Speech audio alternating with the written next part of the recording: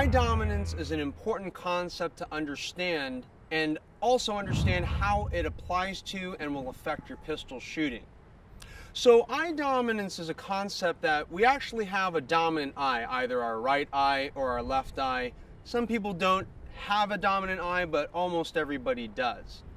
So let's talk about how you determine which eye is your dominant eye. A simple test is if you take your pointer finger and place it over an object. Now go ahead and close your left eye. Now if your finger is on the object that you have your finger over, that means your right eye dominant. To confirm, keeping your finger on that same object, if you close your right eye, you'll see your finger actually shifts off what your finger is pointing at. Now, I'm right-handed and so I will want to shoot with my right hand. Now, and I'm also right eye dominant. So if you happen to be right-handed and right eye dominant or left-handed and left eye dominant, then things are going to be easy for you.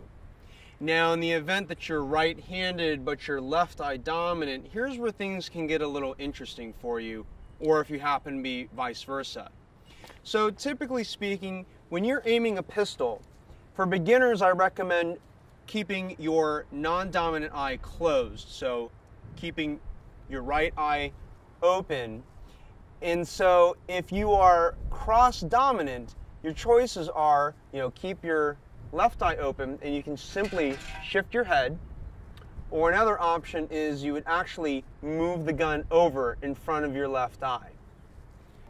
Now, if you happen to be cross dominant, you can try shooting with your non-dominant eye. So for example, if you're right-handed and your left eye dominant, you can try closing your left eye and still shooting with your right eye, or you can try switching it up.